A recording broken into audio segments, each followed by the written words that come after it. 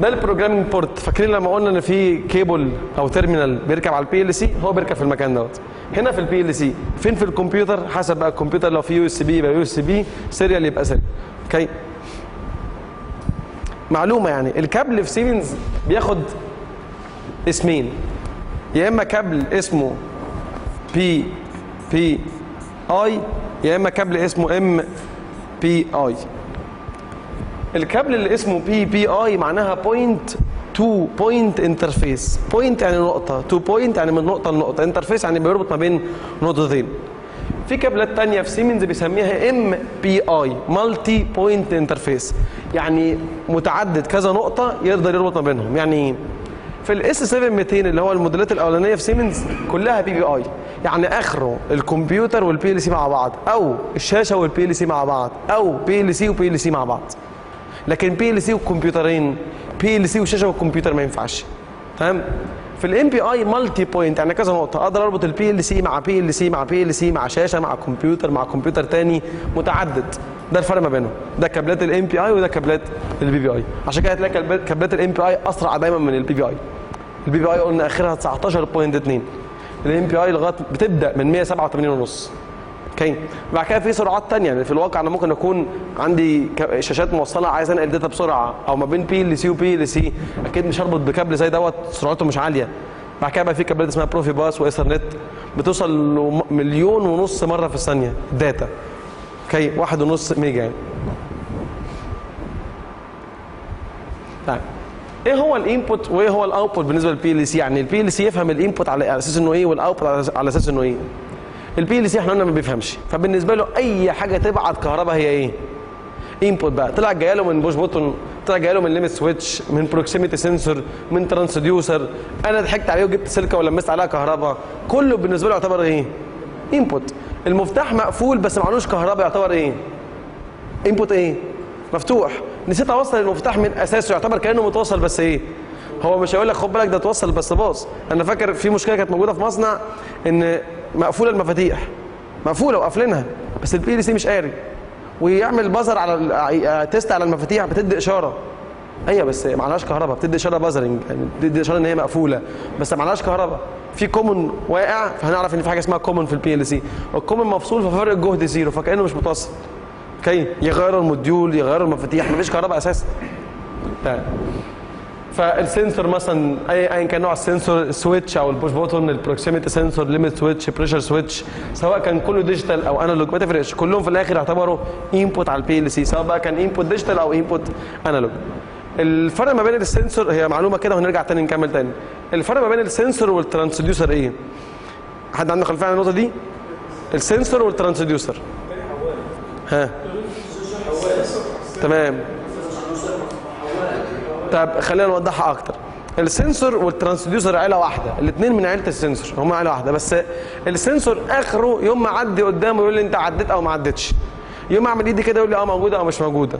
أنور اللمبة يقول لي في نور أو ما فيش نور. آه، في في حاجة آه، مثلا في في حيطة أو ما فيش حيطة. يعني آخره إيه؟ واحد و zero اللي هو يعتبر إيه؟ digital من الآخر.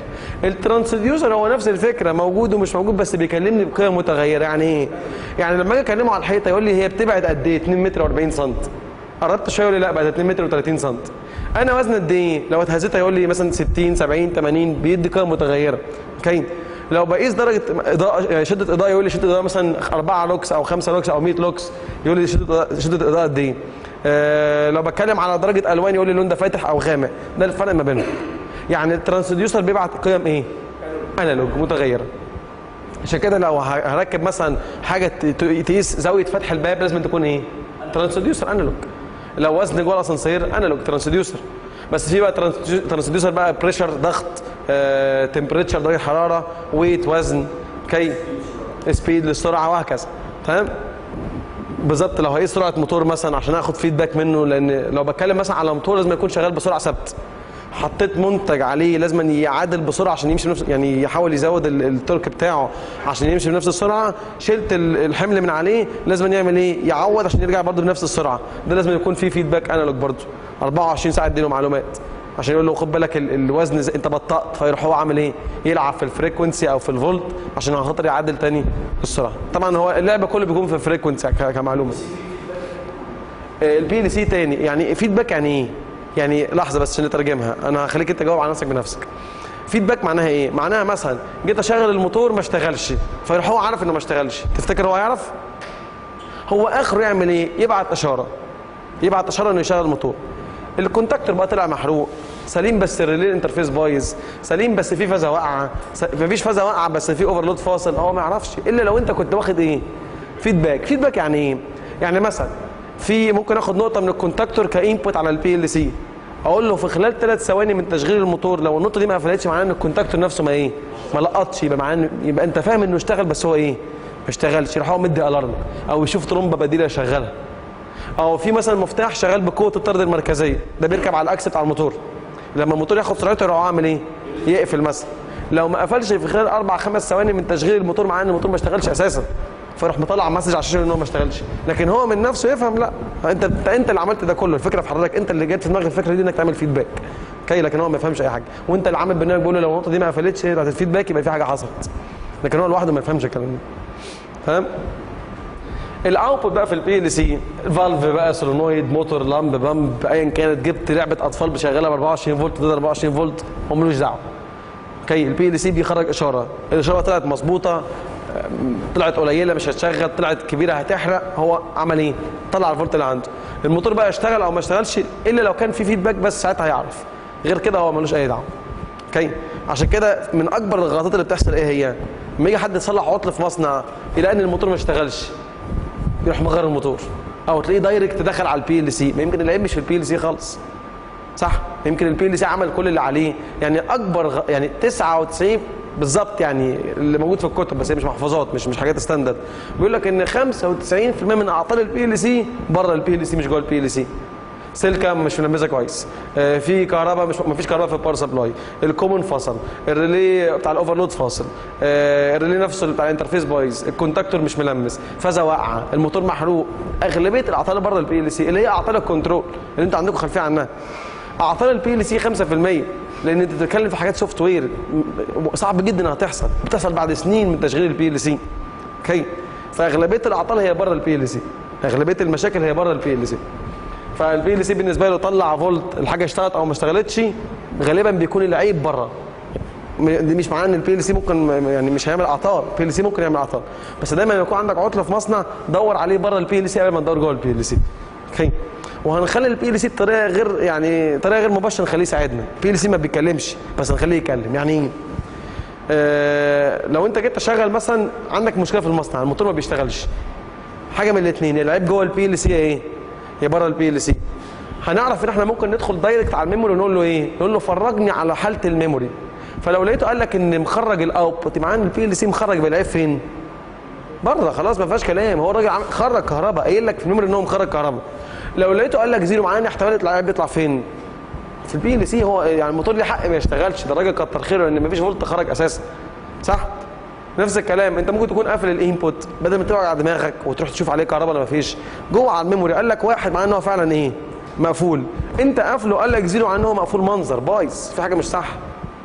okay هل ممكن يطلع بقى العيب في ال PLC؟ آه يعني أنا في عمري كله ما قابلتش غير جهاز PLC هو اللي بايظ. ال- ال output محروق. okay بتحصل يعني. بس برضه بسهولة هتعرفها لأنك أنت هتعمل test على الموتور لوحده هتلاقيه يشتغل. مع ال PLC مش عايز يشتغل يبقى في مين؟ ال PLC overview بقى لجهاز ال PLC كله على بعضه. عندنا الكمبيوتر اللي هو ال programming device اللي ببرمج عن طريقه. بنقل البرنامج عن طريق كابل البرمجة اللي هو في حالة ال S 7200 بنكون بنسميه ال PPI في حالة ال S 7300 ال MPI نقلت البرنامج عن طريق ال communication port اللي هو المكان ده. يكون بقى موجود هنا موجود هنا حسب أجهزة ال PLC دي حاجة مش standard يعني. okay نقلت البرنامج على ال memory. البرنامج بقى موجود على ال memory. once إنه بقى موجود على ال memory وال CPU وصل لها كهرباء اللي هو مخ ال PLC كده بقى ابتدى يقرا البرنامج. عمال يروح يبص على البرنامج. network network بس قبل ما يبص على البرنامج بيكون الأول شاف إيه؟ ها. ما هو ملهاش معنى إن هو يبص على البرنامج وهو مش عارف ال condition اللي عنده إيه.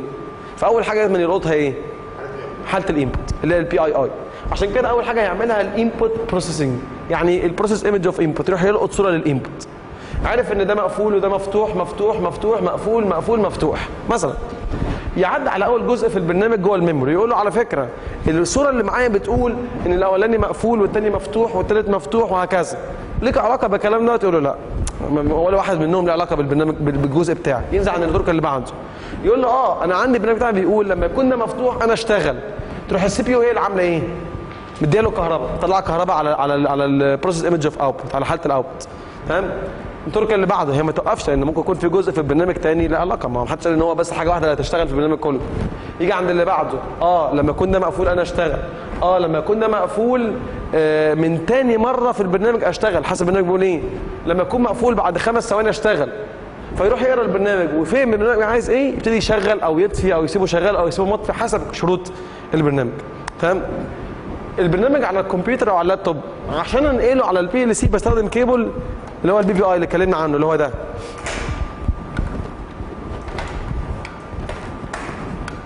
ده cable ال PPI. ده اللي بيركب في ال PLC مثلا.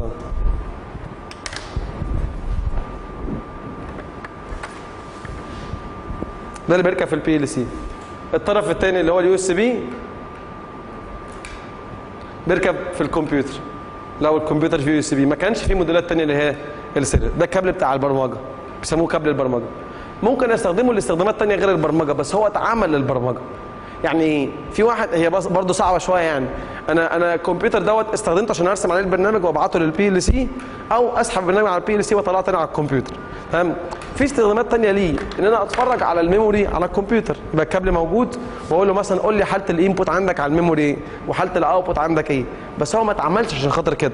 لأن في الواقع مش هتلاقي في المصنع جو حر أو في معدات أو واحد شايل حاجة ومعدي وتلاقيهم حاطين كمبيوتر يعني. الكمبيوتر مش هيستحمل. كيسة وشاشة و keyboard و mouse فبيحلوا محل الكمبيوتر بشاشات. هنشوفها كمان شوية. في بس معلومة. لما أجي أنقل البرنامج من الكمبيوتر لل PLC أنواع الأعطال أنا مش هشرحها بس هقول فكرة عنها. أنواع الأعطال اللي ممكن تحصل في ال PLC ثلاث أنواع. أنواع الأعطال ثلاث أنواع.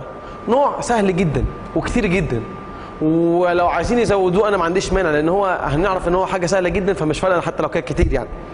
فالنوع الأول من الأعطال اللي يثبت إن هو سهل جدا الكمبيوتر نفسه اللي هو ملوش في أي حاجة بيعرف إن في عطل. تمام تاني. أنواع الغلطات أنواع الغلطات ثلاثة النوع الأولاني كتير جدا وسهل جدا. وأنت نفسك مش يعني بعد بعد بالظبط محاضرتين من الكورس إن شاء الله ما فيش حد فيكم هيغلط في, في النوع الأولاني لأن خلاص اتعرفوه. النوع الأولاني إيه هو؟ ال input اسمه I كذا. أنت غلطت وجيت الزرار اللي جنب ال I مثلا زرار ال U غلطت وكتبت U غير تاخد بالك. يقول لك لا اسمه I مش U okay آه ال timer مثلا آخر timer في ال PLC اسمه timer T 255 حد فيكم غلط وكتب T 355 ولا لا ما فيش الاسم دوت. فأنا قصدي بعد بعد التعامل كتير مع ال PLC هتلاقي خلاص يعني هي بالظبط المحاضره اللي بعد الجايه ما حدش فيكم هيغلط في الكلام ده تاني خلاص. فاهم؟ فده النوع الأولاني. لدرجه إن من كتر ما هو سهل الكمبيوتر اللي هو ما بيفهمش في أي حاجة هو عرف يجيبه. النوع الثاني من ال error مش هينفع الكمبيوتر يشوفه اللي هيشوفه مين؟ ال CPU ال PLC نفسه. اللي هو إيه النوع الثاني مثلا إحنا عندنا timer اسمه T 32 بس نوع ال timer دوت timer on delay ما ينفعش يكون timer off delay هو في ال PLC سموه كده قال لك ال timer ال T 32 يعتبر on delay ما يعتبرش off delay مثلا. لو أنا جيت في البرنامج رسمت ال T 32 مع ال timer ال off delay الكمبيوتر ككمبيوتر مش فاهم. الكمبيوتر ككمبيوتر مش فاهم يعني إيه؟ هو هيروح يعمل كده يقول لك آه T 32 شكله ظريف آه timer off delay خير وبركة موجود. هو قرأ كلام ما, فهمش البرنامج بيقول إيه. اللي هيفهم مين شوية؟ CPU فال CPU وأنت بتبعته يقول لك لا. ما ينفعش. جبتها منين دي؟ T 32 مع timer off delay لا يمكن. يقول لك لا ما ينفعش. ففي انواع errors سهلة زي مثلا كانت له كده. S 32 لا الكمبيوتر يقول لك لا ما ينفعش. ما فيش حاجة اسمها S 32 كتبته صح كاسم بس استخدمته غلط. الكمبيوتر ما يفهمش بس ال PLC يعمل إيه؟ يفهم. الحمد لله النوعين دول ال PLC بصراحة بيقوم بالواجب. يقول لك الغلطة في أنهي network؟ في أنهي فرع؟ في أنهي سطر جوه نفس الفرع؟ في انهي عمود جوه نفس السطر يعملها بلون أحمر ولو مش عارف روح دوس double click هتلاقيه وقف عليها وعمل لك عليها مربع يعني قال لك الغلطة فين؟ ده بالعكس كمان في ال S 7 300 و400 في حاجة اسمها analyze يعني يحلل لك المشكلة. يعني أنا دلوقتي عرفت إن في مشكلة بس برضه مش عارف أحلها. يقول لك لا يقول لك طب ما تجرب كده تروح تبص على الكهرباء بتاعت ال power supply يمكن تكون مش واصلة. بلاش. هتلاقيه بيقول لك كده بيكلمك. طب ما تعمل test على المفتاح يمكن يكون بايظ. طب ما يمكن يكون كله سليم بس انت مديله أمر force في ال PLC ما يشتغلش. بيحكي معاك يعني يقول لك في الآخر هتلاقي نفسك وصلت للمشكلة فين. تمام؟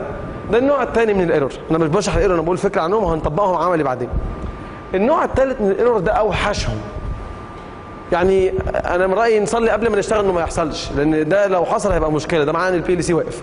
المصنع كله واقف. النوع الثالث للأسف الأولاني كان بيشوفه هو على الكمبيوتر يعني لسه ما بعتناهوش أساسا. التاني كان بيشوفه وأنا ببعته يعني لسه ما راحش كله أساسا. التالت بيشوفه بعد بقى ما تكون بعته والمصنع اشتغل ومش بعيد تكون خدت فلوسك ومشيت والراجل يجرب بعد أسبوع شهر سنة يلاقي في حاجة حصلت في ال PLC ما حصلتش ساعتها ممكن تحصل بعد أسبوع أو شهر أو سنة. مثلا يعني إيه؟ أنا قلت لل PLC اجمع لي 100 زائد 300 وحطها لي على ال memory اللي هي دي. فاهم؟ قلت له حط 100 زائد 300 وارميها على ال memory دي. تعال. ال memory اللي أنا حطيتها memory صغيرة أنا اللي غلطت مش هو على فكرة لأن ال memory دي أنا عارف إن هي آخرها دي معلومة بيني وبينكم مثلا مثلا يعني آخرها مثلا آه، 200 آخرها كده. إيه اللي حصل؟ هو ال PLC كان عارف قبل ما يشتغل إن 100 زائد 300 ب 400 لا ده أنا عارف عشان أنا حسبتها كده بسرعة وحضرتك عارف لكن هو ما يعرفش هو يعرف إمتى؟ بعد ما ياخد البرنامج وينقله ويعمل رن وأجي أعمل إيه؟ أشغل الحتة دي. الحتة دي ممكن تشتغل بعد أسبوع أو شهر أو سنة. ممكن تكون الحتة دي بتشتغل في الشتاء بس أنا عامل برنامج أو بتشتغل مثلا لما يكون المنتج عليه ضغط أو بتشتغل لما يكون الخزان الاولاني باظ ومحتاجين خزان تاني مثلا. فدي اشتغلت بعدين. فلما جه يجمع 100 زائد 300 لقى 400 قال لك يا نهار أبيض ما ينفعش. ده كده في كارثة. أنا الأول قلت لك إنه صح. دلوقتي اكتشفت إن هو إيه؟ غلط. يروح عامل إيه في ال PLC موقف ويقول لك overflow memory ال memory مش مكفيه هو فكر إن الذنب ذنبه هو لأن هو في الأول اعترف إن البرنامج صح. دلوقتي بيعترض عليه بيقول لك مش نافع. فيروح عامل إيه؟ يروح واقف يقول لك أنا كده شكلي مش هعرف أكمل معاك. فبعد إذنك تعالى ساعدني. دي معناها. ده النوع الثالث من ال error. مش فارقة معايا آه.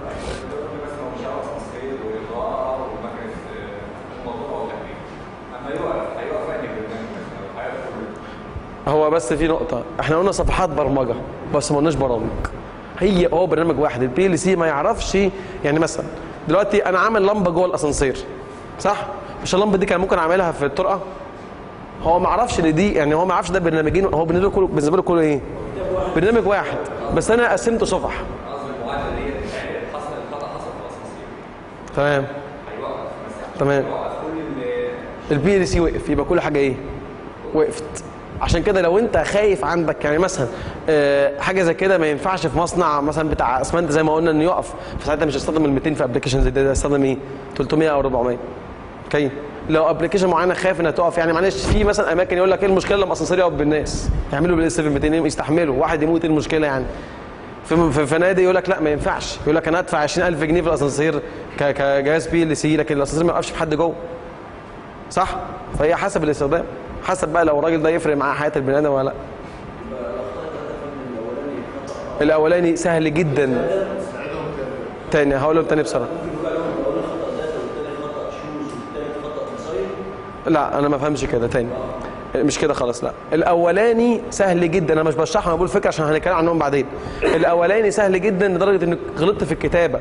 فالكمبيوتر يقول لك لا أنت كده كده غلط. ده الأولاني. وده هتزهقوا منه وكلكم مش هتغلطوا فيه إن شاء الله بعد بعد من المحاضرة اللي بعد الجاية. لأن خلاص كلكم هتغلطوا فيه في الأول. فخلاص تعرفوا غلطة فين النوع الثاني إنك كتبت حاجة صح بس مش ماشية مع البرنامج. يعني ككتابة مكتوبة صح مكتوب T 32 صح. حطيتها مع timer off timer صح لكن ده مع ده ما يمشيش. فيقول لك لا غلط. الحاجة الثالثه إنك أنت راسم البرنامج شكله صح شكله صح. لدرجه ان ال PLC نفسه ما فهمش إنه غلط. وبعد ما جه شغله لقاه إيه؟ صح فقال لك لا ده كده غلط. هو غلط ال CP بيسموه system fault يعني غلطة في, في ال system نفسه. أوكي بس كصراحة يعني من الآخر الثلاثه السبب فيهم مين؟ أنا مش ال PLC فاهم؟ بس ما تتخضوش يعني النوع الثالث اللي هو اللي, اللي صعب دوت هم كلهم 16 error بس 16 error فقليل جدا. النوع الأولاني فيه حوالي 3000 error بس مش مشكلة إن هو بيقول لك على مكانه ويعمل لك بالأحمر ويقول لك الحل بتاعه إيه كمان. تمام؟ فيعني ال error ما تخضش قوي يعني. ها. لو أنا حبيت أوصل modules إضافية في ال PLC في حاجة اسمها ال expansion connection ال expansion connection اللي هوصل module إضافي سواء كان module input أو module output أو module input و output مع بعض. أوكي؟ يبقى أنا عندي الكمبيوتر عن طريق الكابل بتاع ال PPI لو كان ال S7 200 أو ال MPI لو كان ال S7 300 أو النوع اللي اتكلمنا عنه اللي بيشتغل مع الثلاثه سواء كان أي ايا كان نوع ال PLC بعت على نزل على ال memory ما فيهوش غلطة. وصلت كهرباء ال power supply فال CPU وصل له كهرباء هيبدأ يشغل البرنامج حسب ال condition اللي عندي. ال condition بتقول له شغل هيشغل اطفي يطفي سيبه زي ما هو هيسيبه زي ما هو. أي تعديل هيعمله هيروح مخرجه على ال output على طول. تمام؟ تاني. عندي جهاز البرمجة ال programming device اللي هو الكمبيوتر مثلا اللي هو في حتى المعمل هنا الكمبيوتر. عن طريق الكابل حتى هتلاحظوا بص على كل الأجهزة اللي حواليك هتلاقي في كابل نازل منها رايح على ورا راكب في الكمبيوتر يعني. عن طريق الكابل في ال communication port نقلت البرنامج على ال memory على الذاكرة. تمام. إيه؟ ال communication ده اللي هو مكان التوصيل communication port مكان التوصيل. نزل على الذاكرة. لو ال CPU لو مخ ال PLC وصل له كهرباء هيروح يقرأ البرنامج. بس قبل ما يقراه يكون عارف إيه؟ حالة ال input إيه؟ عرف حالة المدخل المفاتيح إيه؟ يروح يبص على البرنامج. البرنامج ممكن يكون بيقول له ما تعملش حاجة أو شغل أو اطفي أو سيبه زي ما هو أو شغل timer وبعد 60 ثانية هنشغل الحاجة دي. حسب البرنامج بيقول إيه. أوكي؟ فهم البرنامج بيقول إيه؟ في حاجة تشتغل هيشغلها في حاجة تفصل هيفصلها في حاجة مش هيعمل فيها حاجة هيسيبها زي ما هي. ايا كانت. أوكي. لو أنا اكتشفت إن عدد ال input اللي عندي أو عدد ال output اللي عندي مش مكفية في حاجة اسمها ال expansion connection إن أنا أوصل inputs أو outputs إضافية. ده بيكون حسب ال application يعني مش شرط أروح أشتري جهاز 24 input 16 output رغم إن أنا أكون محتاج 24 input 16 output أنا ممكن أجيب إيه؟ ال 14 input و10 output وأزود له إيه؟ module أحسبها بس. لأن ال PLC ثمنه مثلا 2800 جنيه اللي هو ال- اللي هو ال 14 input 10 output ال module الزيادة مثلا ب 400 جنيه. فانا أجيب module زيادة احسن ما ادفع في جهاز PLC هيديني نفس ال input وال output بس ثمنه مثلا 4000 جنيه. فاهمني؟ يبقى 2800 زي 600 جنيه غير لما أجيب جهاز ب 4000 جنيه. حسب ال application ال module دوت يزود لك input و output زيادة. بس كلهم يبقوا تبع نفس إيه؟ لأن المركب أم ريسين هتغرق فما ينفعش يكون أي module زيادة ب CPU استحالة لا يمكن. ال module دوت ملوش مخ المخ هو بس بتاع ال PLC عبارة عن input و output بس مكان أربط فيه ال input مكان اخرج منه ال out طبعا اخره سبعه modules أنا كلام عنهم بالتفصيل لسه. أوكي؟ أنا بس قلتها عشان خاطر كانت موجودة في الشاشة لكن لسه هنتكلم عنها بالتفصيل. آه. طيب. ال control في ال PLC ممكن أعمله عن طريق الكمبيوتر وعن طريق الشاشة. في الحقيقة الكمبيوتر اتعمل عشان أبرمج منه مش عشان خاطر أعمل control منه الهدف بتاعه إن أنا أبرمج منه. هنا كمعمل مش هشتري شاشة لأن كده الكمبيوتر موجود وهنا يعني في تكييف وقاعدين مع بعضينا فعادي مش هتزعل مني لما أقول لك إحنا هنتفرج من الكمبيوتر لكن في المصنع مش هينفع. في المصنع مش هينفع أحط كمبيوتر في جو المصنع. الكمبيوتر اتعمل عشان يشتغل في التكييف. اخره 8 ساعات وبعد كده من حقه يهنج. طبيعي بتاع أي أي أي كمبيوتر Intel ان من حقه 8 ساعات شغل. بعد 8 ساعات طبيعي انه يهنج. ما ينفعش تروح ترجعه في المصنع عشان خاطر بيهنج بعد 10 ساعات شغل. ده طبيعي. okay اتعمل لك حاجة تانية مخصوصة بقى للشغل دوت اللي هو الشغل التقيل صح بتاع المصنع. مفيش تكييف مفيش مروحة حد هيخبطها وهو شغال. في شاشات معمولة اسمها anti explosion يعني لو المصنع انفجر الشاشة ما حاجة. هي اتعملت لكده ده استخدامها. هو ما أعرفش هما خلاص لو المصنع انفجر زعلانين عن إيه تاني؟ بس في شات معمولة إن هي ما تنفجرش لو المصنع انفجر بتتحط في مصانع الادويه بس ده متعودين على الانفجارات هناك.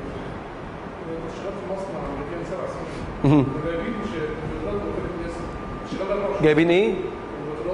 تمام. ماشي هي معلومة بس. الكمبيوترات اللي بنجيبها في البيت نوعها انتل. الكمبيوترات اللي بتروح في يعني في البنوك ما ينفعش الكمبيوتر يطفي. خم خ يعني ب 10 سنين شغال الكمبيوتر ما يطفيش دي حاجات غير ال Intel بتصنع مخصوص. حاجات مخصوص غير ال Intel. لكن ما ينفعش الكمبيوتر ده أروح أحطه في مصنع ما ينفعش. طبيعي جدا إن أنا أفصله كل يوم وأريحه. في كمبيوترات البنوك أو الأشغال مهمة ومصانع مهمة ما ينفعش الكمبيوتر يطفي فما بيكونش Intel. okay؟ آه. نرجع تاني. الكمبيوتر اتعمل لل programming للبرمجة. الشاشات اتعملت لل control. إن أنا أعمل بيها interface مع المكنة أتحكم فيها عن طريقها أتحكم في المكنة. الشاشات في ال PLC يعني الشاشات اللي موجودة مع ال PLC أنواع. في شاشات اسمها TD اللي هي text display text يعني كتابة. يعني آخرها تعمل display لل text تظهر كلام بس. تظهر كلام. النوع الثاني HMI اللي هي human machine interface آخرها هتقول لك بس تكلمك كده وبالكتير قوي قوي تجيب لك رسمة. تجيب لك رسمة وهي شغالة. ممكن ترسم لك أي رسمة على الشاشة. النوع الثاني اسمه SCADA supervisory control and data acquisition يعني من أخ... ممكن كمان تجيب لك animation حركات. يعني. كلهم ينفع أعمل بيهم نفس ال application بس عمري ما هجيب ال SCADA عشان أكتب بيها كلام بس. ليه؟ طب ما أنا ال text display بربع ربع ربع ربع ثمن ال SCADA بس بتكتب جمل. يعني ممكن اخليه تكتب لك مثلا آه، ده المنتج الخامس النهارده اللي يخرج من المصنع. آه، حصل أربع مرات إن المصنع وقف. آه، تدخل قيمة ال timer. بعد قد إيه يروح مشغل مثلا المكنة الثانية في 24 كرتونة خرجوا. وهكذا. ده ال text display لو كل استخداماتك messages بس هي ال text display تعمل لك لغاية سبع شاشات جوه يعني تظهر لك سبع شاشات مختلفة. الشاشة بتشيل آه، جملتين كل جملة 20 حرف أو جملة واحدة 40 حرف. okay دي ال text display MI أقدر أدخل بيها أرقام بسهولة. ال text display ينفع بس كلها يعني كلها up و down يعني بالشكل ده كده بالظبط. بدوس up down عايز أكتب مثلا